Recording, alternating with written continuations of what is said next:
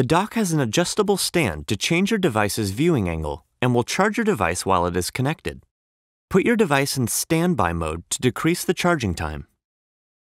If your device is not charging when the dock is connected, make sure the charging contacts are magnetically connected.